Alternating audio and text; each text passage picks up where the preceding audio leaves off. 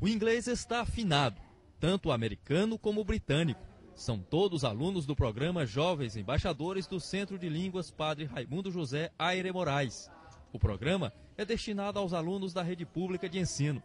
Doutoranda em língua inglesa, a coordenadora do programa Jovens Embaixadores explica como funciona este intercâmbio Brasil-Estados Unidos. Esse programa visa levar alunos da rede pública de ensino para ter uma experiência nos Estados Unidos. O aluno será o representante do Estado nos Estados Unidos. Lá ele vai participar de aulas, vai estudar em escolas americanas, mora três semanas com uma família americana, visita todos os pontos turísticos de Washington. Então tem uma experiência toda, existe todo um calendário cultural para esse aluno, para que lá ele possa, também ele vai ter a oportunidade de falar do estado do Piauí, divulgar o estado do Piauí. Ele, ele vai ser um embaixador do Piauí nos Estados Unidos. No próximo ano, o programa Jovens Embaixadores levará 26 alunos brasileiros aos Estados Unidos. Cada aluno representará um estado membro do Brasil e terá a oportunidade e também a responsabilidade de divulgar o estado que representa.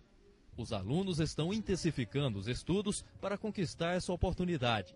É um incentivo também, né? Porque você tem que ter boas notas, né? Você tem que ter um comportamento muito bom para você adquirir essa oportunidade.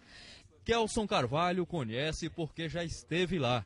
As fotografias em Ohio e Washington, o passaporte, o orgulho de ter sido um dos primeiros piauienses selecionados no programa Jovens Embaixadores. É uma experiência ótima, única, incrível. Conhecer os Estados Unidos, vivenciar uma nova cultura, conhecer novas pessoas, ensinar sobre seu país, sua cultura materna. Isso é ótimo.